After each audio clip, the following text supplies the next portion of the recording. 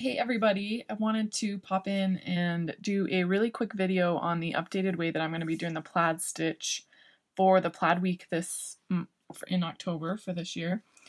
And um, it's basically the same, but I just, I really hated how that first one looked. If you use the chain, if you counted the chain as a stitch, then it just looked really, um, just like empty, like it wasn't a full one. And then if you didn't count it and you used you know, the you had the chain and then the double crochet in the same one, then it looked like there were four stitches and I just, I don't know, I didn't like it and I wasn't sure how to fix it. Well, I figured out a way to fix it. So what you do is your, your count is actually going to be multiples of three or, or of six because the six stitches that make up the plaid stitch and then you're going to add two to it. So the count is going to be a little bit different. Basically, if you're going to be working in the round, you just take the number that you would have had and minus one. And let me show you what I'm what I'm talking about. So the so instead of working, so you can see what I'm doing and you can see that it looks perfect. It looks like there's three, three, three, but this is actually the join. So what I'm doing is I'm chaining one, I'm going to double crochet into the same stitch,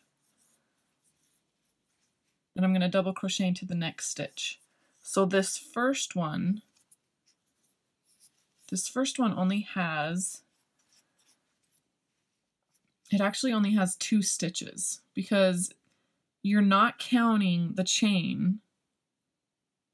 So you're not counting it. You're still doing the chain one, double crochet in the same stitch.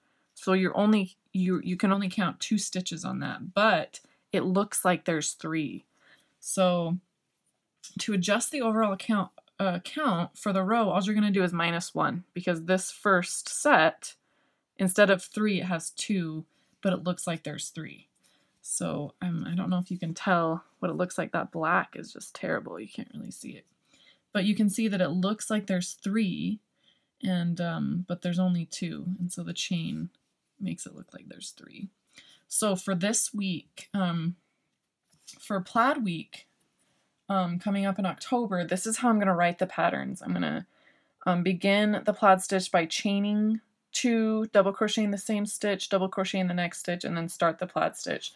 And hopefully that will help um, alleviate any concerns about this. But I just think it looks so much nicer to have the two stitches there and then the chain, and then it just it looks really nice.